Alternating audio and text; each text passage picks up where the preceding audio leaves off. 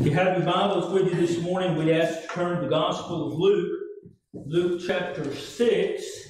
And uh, while you're turning, as always, I'm desirous of your prayers while I leave the church and try to preach what the Lord's given us. Gospel of Luke chapter 6, beginning in verse 12. Gospel of Luke chapter 6 beginning in verse 12, the Bible says that it came to pass in those days that he, meaning Jesus, that he went out into a mountain to pray and continued all night in prayer to God. Yeah. And when he and when it was day, he called unto him his disciples, and of them he chose twelve, whom he named apostles. Simon, whom he also called Peter, and Andrew his brother, James and John, Philip and Bartholomew, Matthew and Thomas, James the son of Alphaeus, and Simon called Zelotes, and Judas the brother of James, and Judas Iscariot, which also was the traitor. Dear Lord, we thank you and we praise you to be before your people this morning. God, we pray that your presence may come down and that you'd see the import that we might see the importance in your word. God, pray that we would never, ever, Lord, let this word slip away from us, but that it would be our guide, that it would be our pillow, that it would be what causes us to wake in the morning and give us the assurance to go sleep at night. We pray these things in the sweet, the precious name of Jesus. Amen. Now, some fairly familiar verses of Scripture when the Lord Jesus was choosing his apostles. Now, uh, it's hard to imagine. First of all, I'll say this. I think it was an impossibility for Christ to be out of the will of God because he was God in the flesh. But we see time and time and time again that the Lord Jesus prays and prays and prays. In fact, he is the best teacher. If you want to really learn about prayer, you study the life of Christ.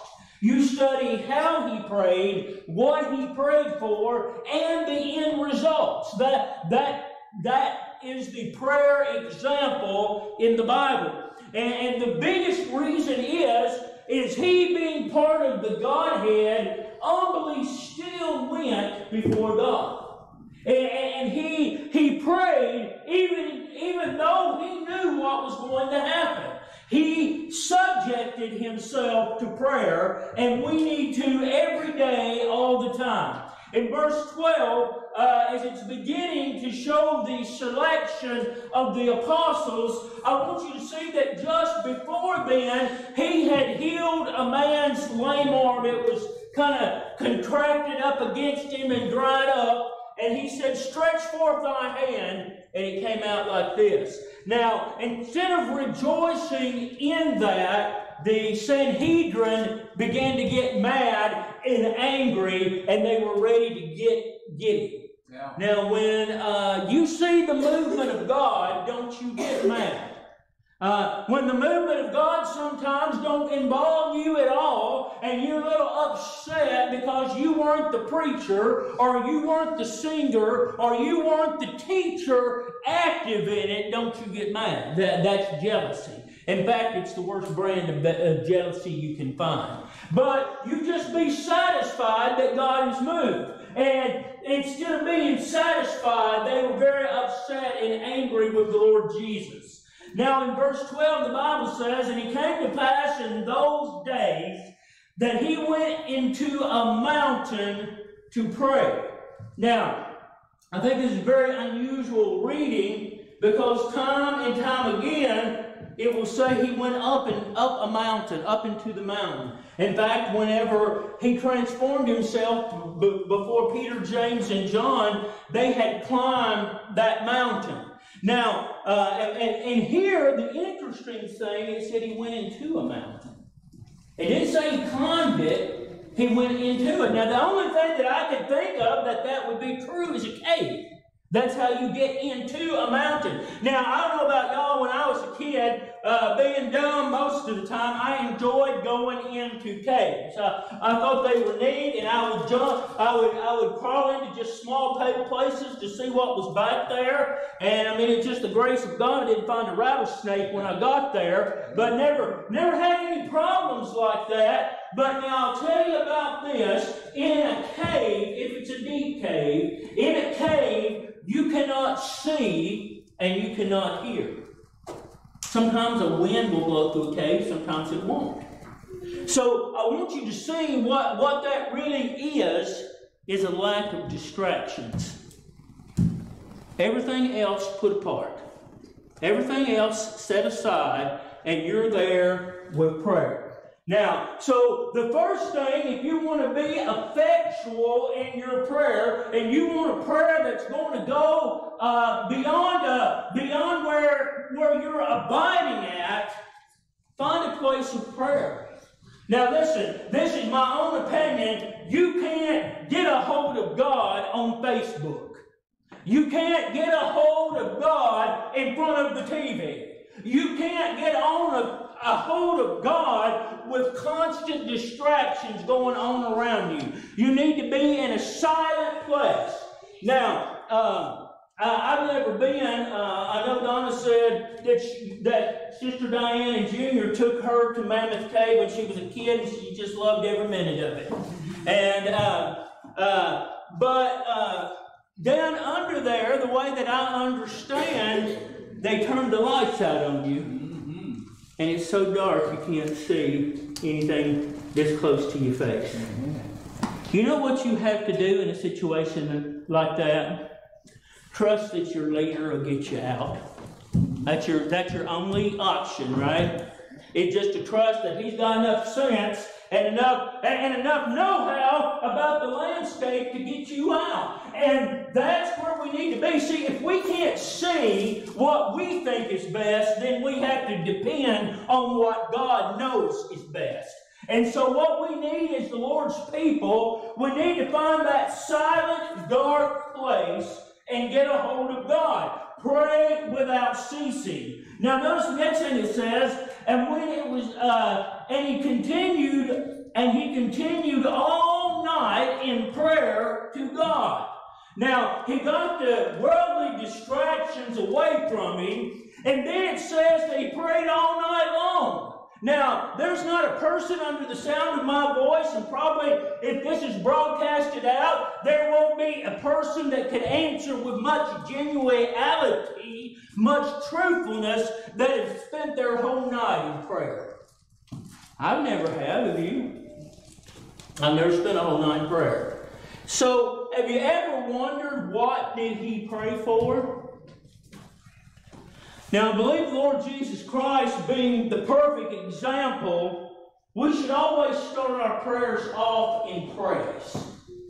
How wonderful and marvelous and great a God that we serve. That He's up on His throne, that He doeth whatever seemeth good unto Himself, and whatever He does good unto Himself, you know what? It's good for us too. A lot of people don't believe that, but I certainly do. It may not look like, uh, it may not look rose and cherries on the top, but it's good for us because the Bible says this in Romans chapter uh, 8 all things work together for the good of them that love the Lord and for those that are called unto by, by his purpose. And so, whatever happens is good. Can you praise the Lord for that this morning?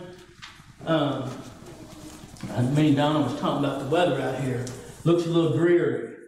You know what? The Lord sent that weather to us, did He not? Uh, and you know, Mama is in the house about all the time now. I don't. Occasionally, she might get out for a few minutes for church, but she pretty much confined to her at home.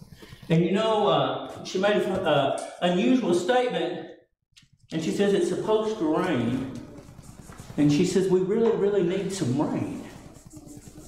And I said, Well, Mama, how do you know that? She said, I've been watching the dust flow. See, if we take a minute to observe some things, we'd notice some things, wouldn't we? And, and in the same in the same way, we just need to trust God. When we go to Him in prayer, just what you know, and you know, if we get to the point that we no longer pray, we might as well give it up.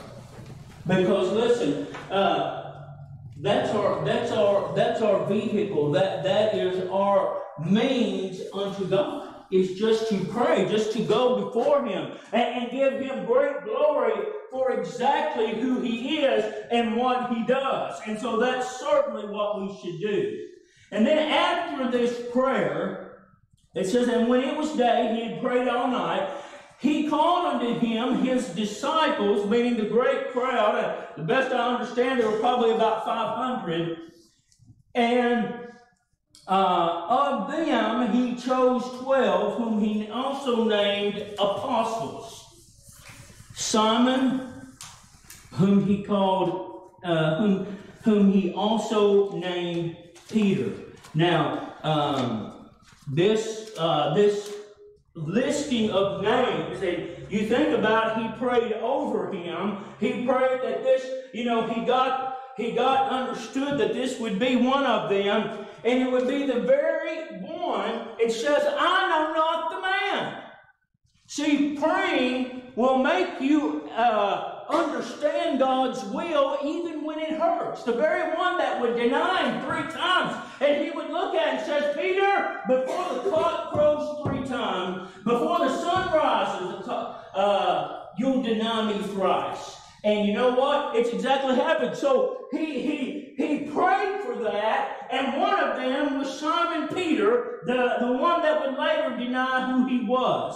Andrew, his brother, the uh, and wasn't even that close to him. James and John, Philip and Bartholomew. You ever hear of the apostle Bartholomew except for here? It's very rare. You know what? I think Bartholomew and some of these others were just mediocre people filling up a slot. You know what? He knew when he called him there would be no epistle of Bartholomew. He knew when he called him that there would be no gospel of Bartholomew.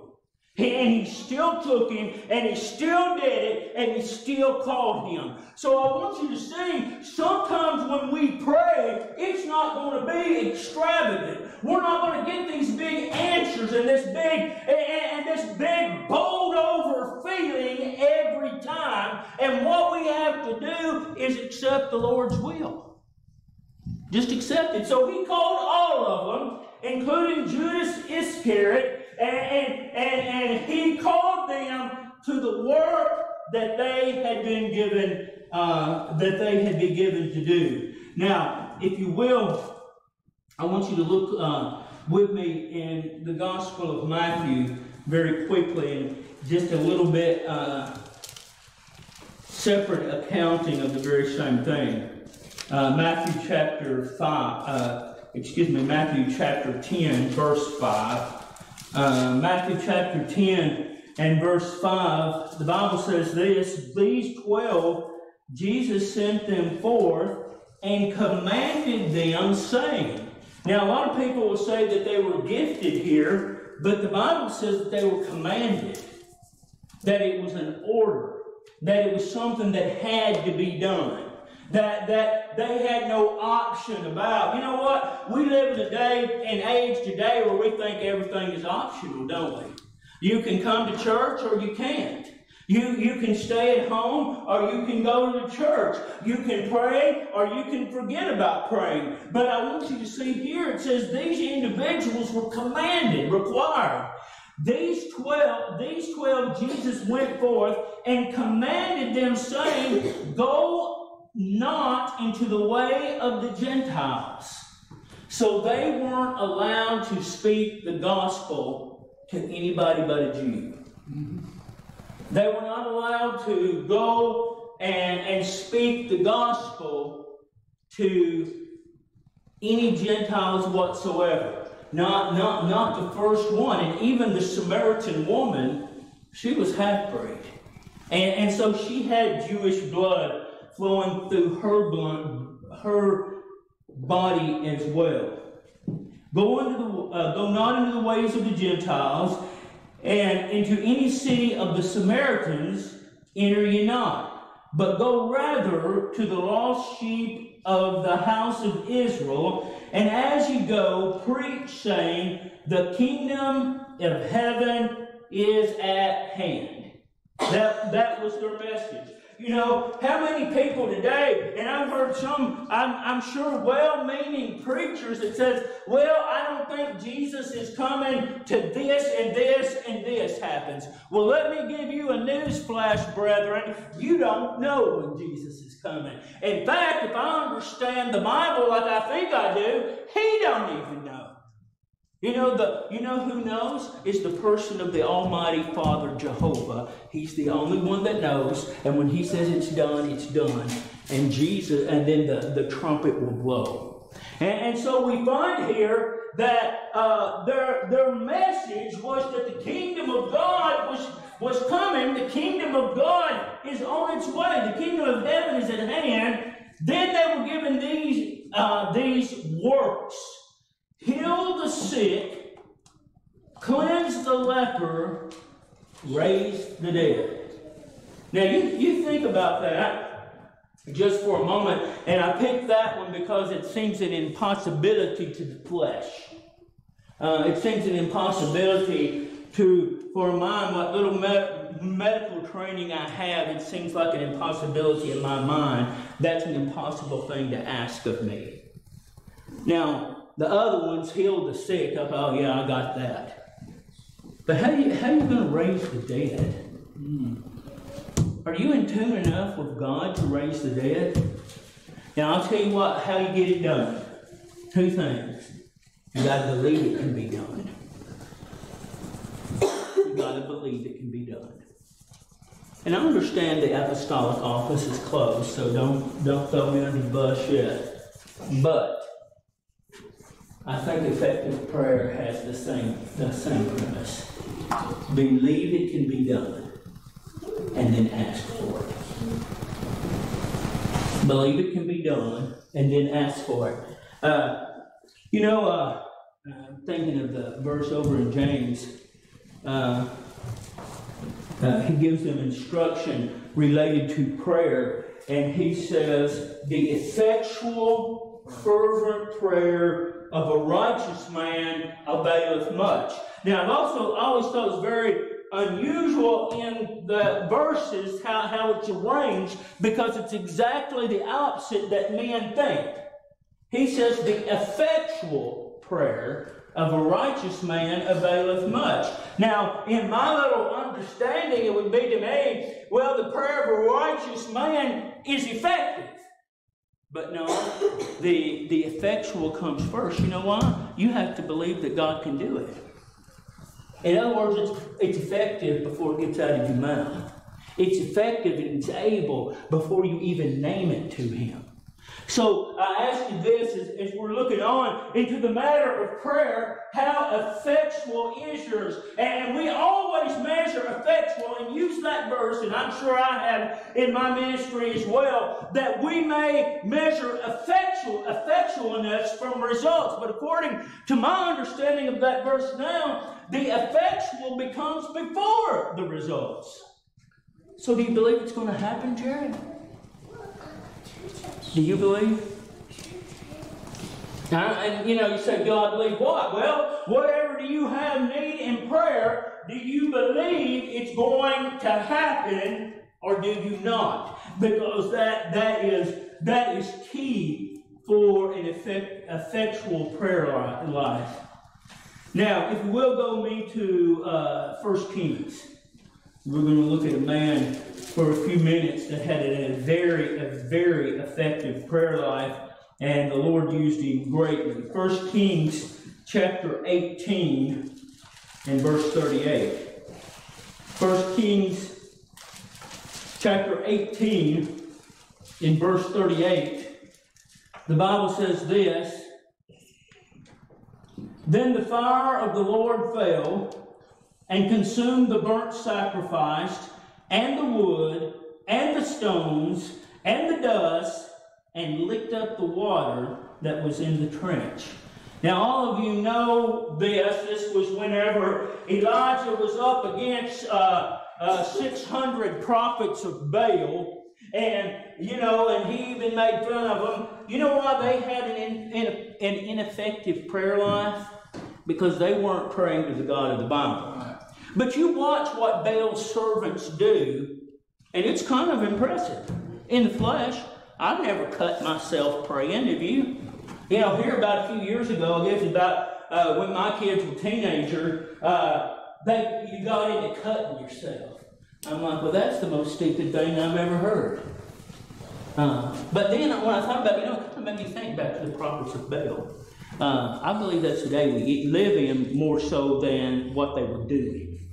And, and, and so we find then that this individual here, he, uh, he had prayed before this happened. Now, I want you to look at his prayer in verse 39. And when all the, uh, excuse me, in uh, verse 37 is his prayer, Hear me, O Lord.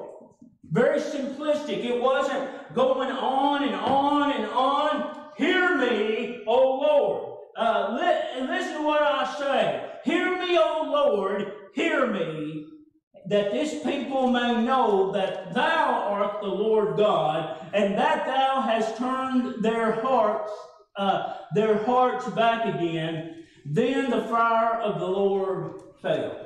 Very simplistic prayer. Uh, didn't go on and on for days. But you know, if you'll read this, and you can read it this week in your spare time, Elijah did a lot of things to get prepared for this. In other words, that, that small prayer was only a piece of the faith that he had in God. Now, if you want a real prayer, just like he said, like he said in, in, in James, where the effectual prayer if you, if, if you want a good prayer life, you have to believe it. Do you, do you believe God is able? Can He change the tide? Can He turn this nation in a different way? Certainly He can. Does He still save people? Yes, He does, and He can.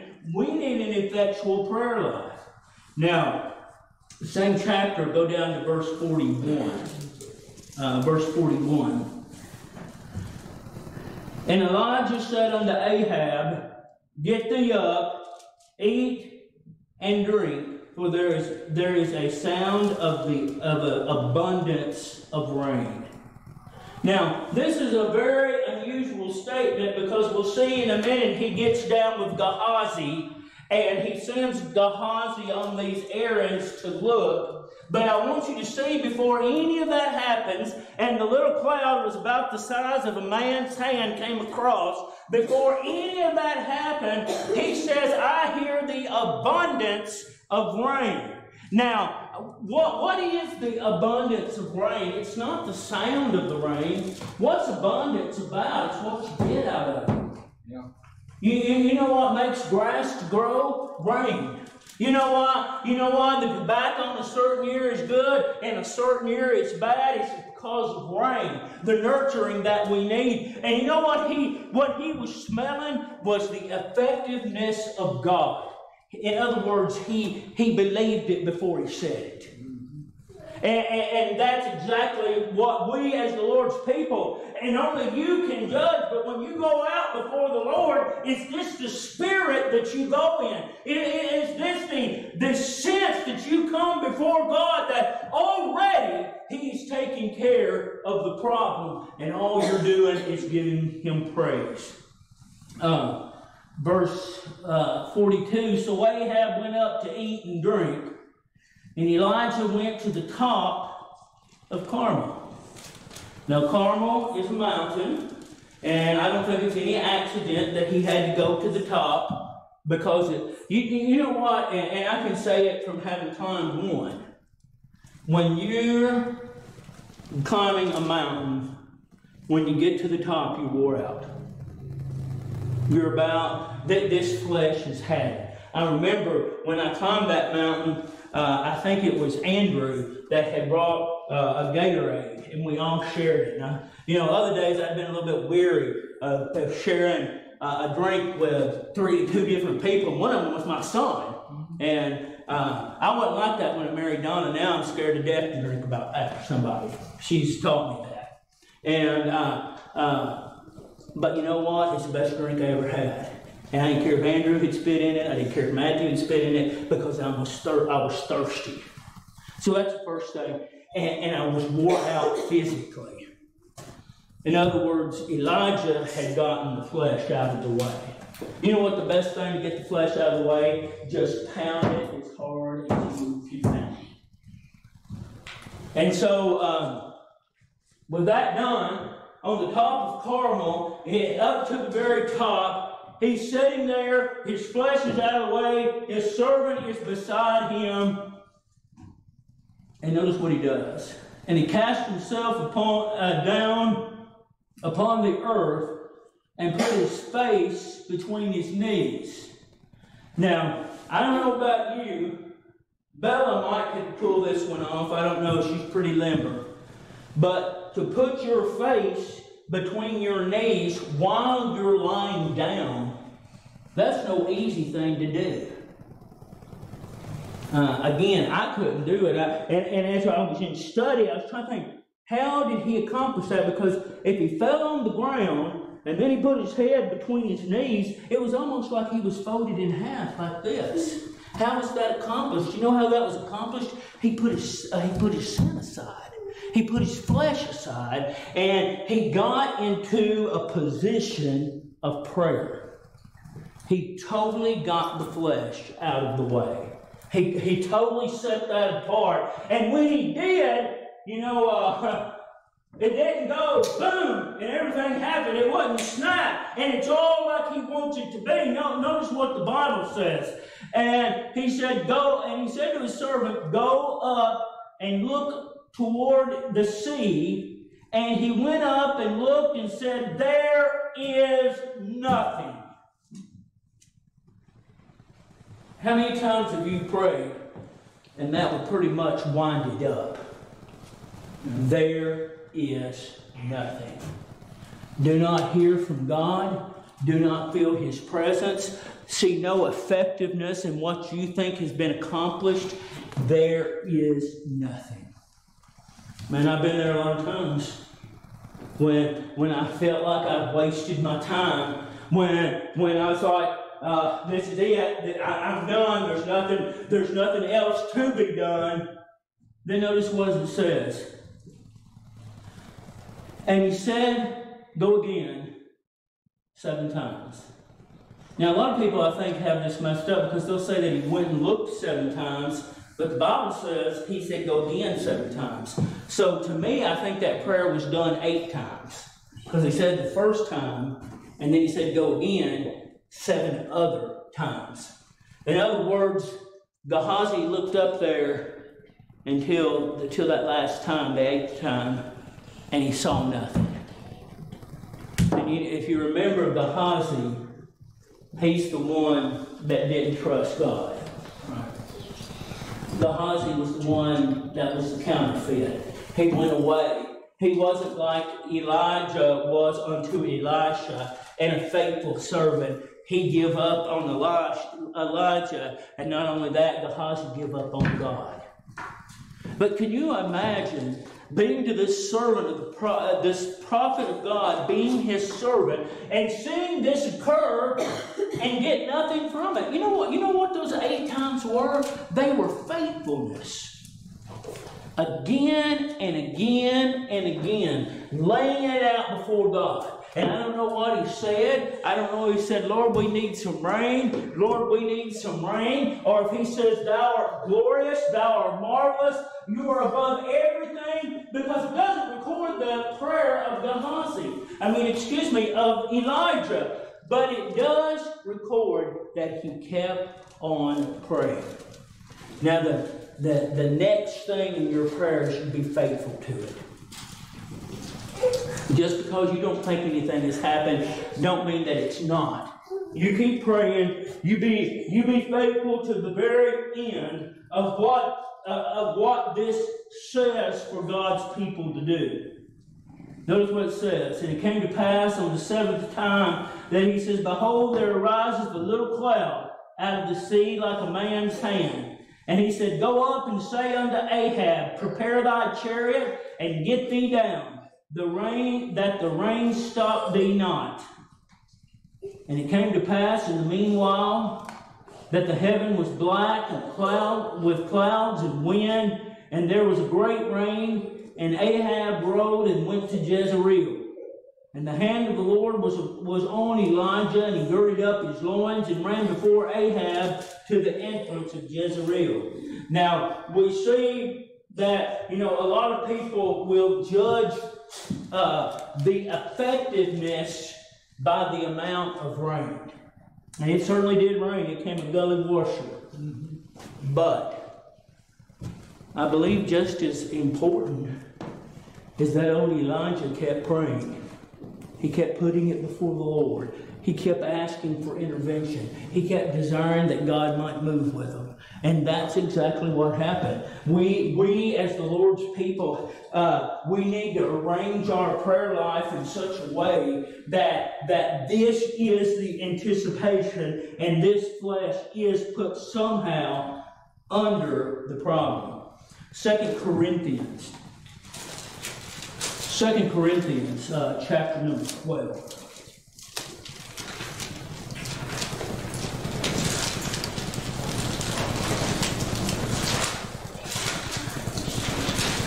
Second Corinthians chapter number 12, verse 6. Second Corinthians chapter 12 and verse 6. Now, there may be hindrance along your way in your time of prayer. Now, all of you know, because y'all been with me a long time, my prayers out loud, they're not much in, in man's eyes. Uh, I think to have a fervent, effectual prayer, it's between you and God. Now, there, there's nothing wrong with praying out loud. I don't have an issue with it. But at the same time, if you judge men by that, it's pretty not much to it, right? Right. Uh, and, and so we find in Paul's day, and he's writing to the Second Corinthian, the second letter to the Corinthian church. Notice what he uh, says in verse 10 uh, 2 Corinthians uh, chapter 12 and verse 10, uh, excuse me, verse 6, the Bible says, And though I would desire to glory, in other words, uh, Paul was acutely aware of his pride. He was acutely aware of what pride could do. He says, though, uh, For though I would desire to glory, I shall not be a fool in other words, to glory, to be happy in yourself, to say, look at what I've done, you're a fool, according to the Bible. For though I would desire to, to glory, I shall, I shall not be a fool, for I will say, for I will say the truth.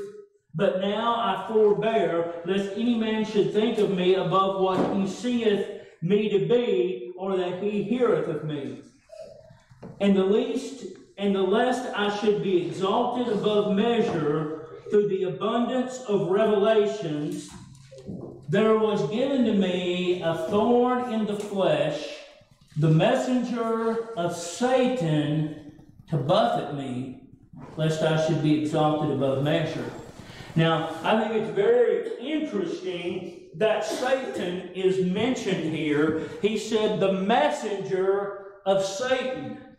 Now we all have our little uh, our little cracks and crooks in this flesh, and body hurts, joints hurt. My knee's been bothering me for two days, and you just have to kind of grunt to get going. You know what? That's not a messenger of Satan. We haven't seen that yet. But I want you to see that Paul had identified exactly the source of his eyesight problem that Satan had sent it upon him. And I'm often thought of back in the days of Job where he says, uh, Have you considered my servant Job? And you know all the problems that, that the devil asked permission to send along Job's way. And maybe he said, Have you considered Paul? He's an effective preacher. He's getting the job done. He's spreading the gospel to Asia Minor. He is doing his job. and the devil, have you, has Paul served you for naught? And he said, Well, do what you, how about his eyesight? You take his eyesight from him. And you know what? Despite all that, Job continues to serve him. And, and, and so we see as the Lord's people, sometimes Satan can inhibit prayer. He can inhibit what we're trying to do for Christ. If I understand this the way I think I do, but notice it's through the flesh. You know what will take uh, away from your prayer life is focusing on your flesh. You know what? There's not one of these person, people under the sound of my voice this morning that don't have some little something going on in their body right now. You know what? In a spiritual sense, all I can say is get over it. Right? And get on your knees before the Almighty.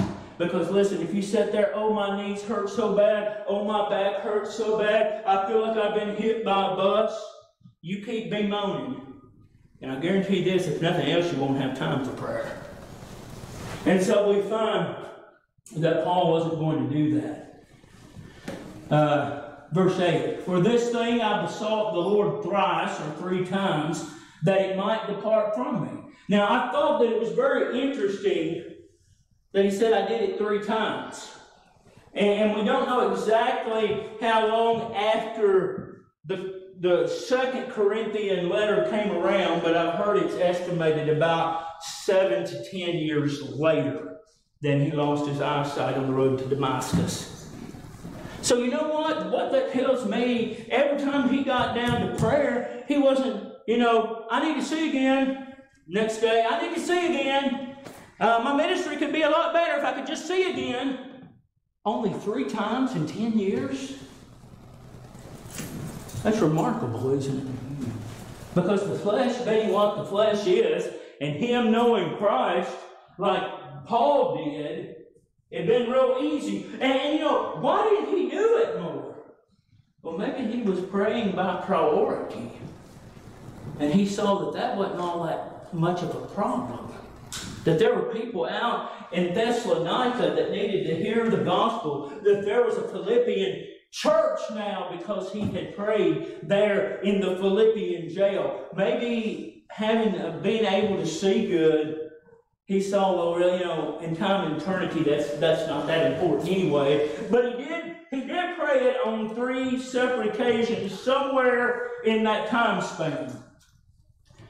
This is what he says, and the Lord answered him. And he said unto me, My grace is sufficient for thee, my strength is made perfect in weakness. Most gladly, therefore, will I rather glory in my infirmities that the power of Christ may rest upon me. And so the next time you got the hummy grummies, listen, you somehow use that for prayer. You know, this is the thing about getting old. Me Donovan talking a little bit that about lately and what we, a couple things we like to do the house while we're still working. And, uh, because see, the day's coming when we're not going to be able to. Amen. Right. And you know this, and I used to not be like this at all. I used to get up on my work days and my off days just like a rat on d-CON. But yesterday, I noticed that I slept to about eight, and the Saturday before that, it was almost nine. And Donna, I heard Donna slipping around the room, and it woke me up then. And, and, and you see what I'm saying? This flesh uh, has issues. But you know what would have been a much better use of that time than kicking back and getting me a couple extra hours sleep? Is find some kind of dark place and get along with God and begin to pray. You know, as time passes by, and if I get in a situation where I can, would to God, instead of wasting a bunch of time, that I'd be able to pray before Him and, and use that time in a better way uh, than just spinning my wheels. All right, last place, 1 Samuel chapter 1, and we're going to close. And this is for you ladies, you sisters that are here this morning so that you don't feel left out. First Samuel chapter 1, and we're going to begin reading in verse 10. 1 Samuel 1, uh, beginning in verse 10.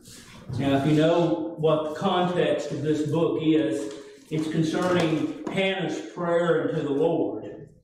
And Hannah had no children, and Peninnah made fun of her. Uh, you know what? If you have one little infirmity in the flesh, people are going to make fun of you.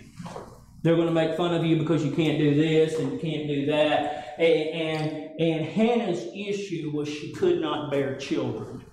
Uh, and her, it says her adversary, which was Peninnah, uh, Peninnah would come against her and say, I got a house full and you ain't got nothing. And, and, and would jeer her again and again.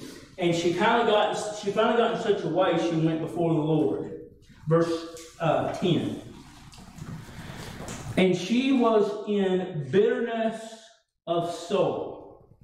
Now that's your best effective prayer that this soul within us gets in such a bad shape that we need prayer.